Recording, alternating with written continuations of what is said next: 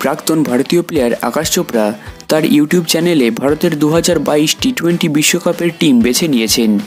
বেশ কিছু গুরুত্বপূর্ণ নাম বাদ দিলেও মোটের উপর তার টিমে মোটামুটি জাতীয় টিমের নিয়মিত বেশিরভাগ প্লেয়ারই সুযোগ পেয়েছেন। চোপড়া প্রথম তিনটি ব্যাটসম্যানকে সিলেক্ট করেছেন রোহিত শর্মা, বিরাট কোহলি এবং কে এল রাহুল। টপ অর্ডারে ব্যাটিংয়ে কোহলি ওপেন করতে পারেন বলে মনে করেন আকাশ চোপড়া। তার স্কোয়াডে থাকা অন্য তিনজন ব্যাটসম্যান হলেন ঈশান কিষান শ্রেয়াস আইয়ার এবং সূর্যকুমার যাদব। এবং অবশ্যই এই টিমে তিনি ঋষভ পান্তকে উইকেট কিপারের দায়িত্ব দিয়েছেন। ঈশান কিষানকে একজন বিশেষজ্ঞ ব্যাটসম্যানের পাশাপাশি পান্থের পরিবর্তক কিপার হিসাবেও নেওয়া হবে।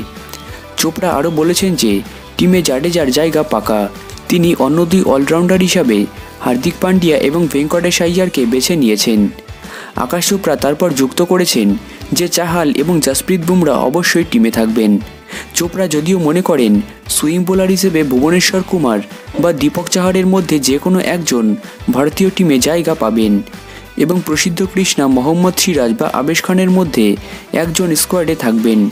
সঙ্গে মোহাম্মদ শামি, টি নটরাজন বা খালিল আহমেদের মধ্যে থেকে একজনকে রোহিত শর্মা তার টিমে জায়গা দেবে।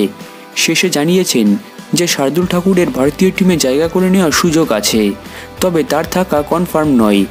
এক নজরে দেখে নিন টি টোয়েন্টি বিশ্বকাপ দু হাজার বাইশের জন্য আকাশ চোপড়া টিম ইন্ডিয়ার squad Rohit Sharma, K L Rahul, Virat Kohli, Ishan Kishan Shreyas Iyer Suryakumar Yadav, Rishabh Pant Ravindra Jadeja, Venkatesh Iyer Hardik Pandya Chahal, Jasprit Bumrah, Bhuvneshwar Kumar, Deepak Chahar, Prasidh Krishna, Avesh খান, মোহাম্মদ সিরাজ, মোহাম্মদ স্বামী টি নটরাজন এবং খালিল আহমেদ।